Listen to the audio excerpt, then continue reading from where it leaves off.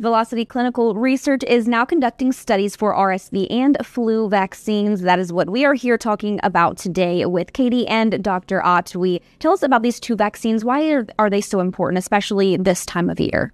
Well, the flu season and the RSV season are upon us, and uh, these two viruses can cause lots of uh, pathology, lots of illness. They cause in children pneumonia and something we call bronchiolitis, as well as adults, and especially senior citizens, can get pneumonia and um, hospitalization and uh, respiratory failure from these viruses. So they are serious illnesses. And um, the vaccine is available, it is getting better and better.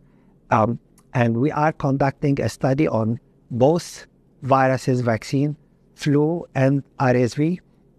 Together, they account for large number of fatalities every winter, and um, we will be looking for three to four hundred volunteers to come and get the vaccine for free, and um, we will be following those patients to see if they ever catch the flu during the season after they get the vaccine, uh, to make sure the vaccine is um, working, and um, um, this is how all the medicines and vaccines we use in medicine uh, come around, they go through clinical trials to find out their efficacy and safety. Is there a certain age range that you guys are looking for uh, for for people who are taking part in these trials?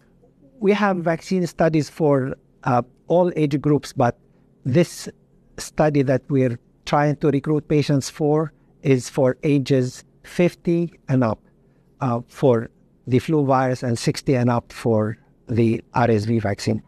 And how do we learn more about this or maybe uh, sign up to come in for these studies with you? So you'll call us at 337 451 0663.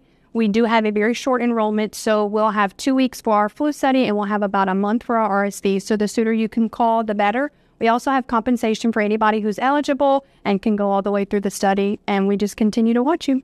If you're interested in participating in one of these studies or both of these studies here at Velocity Clinical Research, you can give them a call at the number on your screen or visit their website to learn more.